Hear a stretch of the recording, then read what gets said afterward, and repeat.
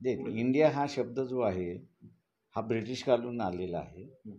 सर्व कायद्यांमध्ये इंडिया हा शब्द वापरलेला आहे. आपण जरी स्वातंत्र्य झालो तरी जुन्या कायद्यापासून फारकत घेता येत नाही. तुम्हाला कंटिन्युटी त्या ठिकाणी ठेवावी लागते. आणि ती कंटिन्युटी ठेवायची असेल तर ते ॲडॉप्शन क्लॉज आपल्या इथे आहे संविधानामध्ये की ॲडॉप्शन आपण ते सगळे कायदे ॲडॉप्ट केले आता ॲडॉप्ट केलेल्या कायद्यामध्ये इंडिया हा शब्द आहे. त्याच्यामुळे तुमच्या संविधानामध्ये सुद्धा इंडिया हा शब्द त्या ठिकाणी आला पाहिजे. आणि म्हणून ड्राफ्टिंग करताना मतदानाला टाकणं इंडिया दॅट इज भारत. त्याच्यामुळे भारत आणि इंडिया हे दोन्ही शब्द त्याच्यामध्ये आहेत. येणारं पाच वर्षाचं जे सरकार आहे त्याला मुभा आहे त्याने इंडिया वापरावं की बा भारत वापरावं?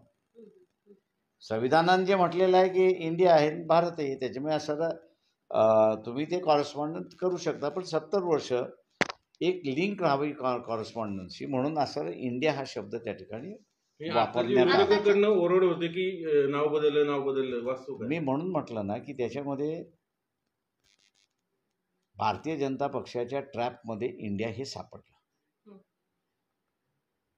याचं कारण असं आहे की केशवनंदा भारती ही जी केस आहे त्यामध्ये प्रिॲम्बल मध्ये इंडिया हा शब्द आहे भारत हा शब्द नाही. तेव्हा प्रियॅम्बल हे basic feature of the constitution आहे कॉन्स्टिट्यूशनचा भाग आहे असं त्यांनी म्हटलेलं आहे. आणि दुसरं त्याच निर्णयामध्ये त्यांनी असं म्हटलं की बेसिक फीचर ऑफ द कॉन्स्टिट्यूशनमध्ये कॉन्स्टिट्यूंट असेंब्ली म्हणजे पार्लमेंट जेव्हा कॉन्स्टिट्यूंट असेंब्लीमधून बसते त्यावेळेससुद्धा त्यांना बदल करण्याचा अधिकार नाही. त्याच्यामुळे असा इंडिया हा शब्द प्रिॲम्बलमधनं तुम्ही काढू शकत नाही. फार फार काय करू शकता? ते ॲडिशन करू शकता. डिलिशन होऊ शकत नाही. ॲडिशन होऊ शकतो. तो म्हटलं तिथे पुन्हा येईल. India that is Bharat. त्याच्यामुळे इंडिया हा शब्द राहतोच. माझं म्हणणं असं आहे त्याच्यामध्ये की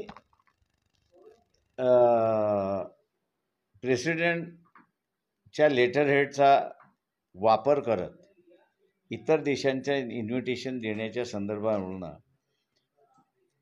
भारतीय जनता पक्षाने इंडिया यांचा पौलपणा म्हणजे फोकलपणा हॉलोनेस जो आहे पोकळपणा हा त्यांनी सामोरे आणला. की त्यांना हेही माहिती नाही की इंडिया दॅट इज भारत हे का वापरण्यात आलं?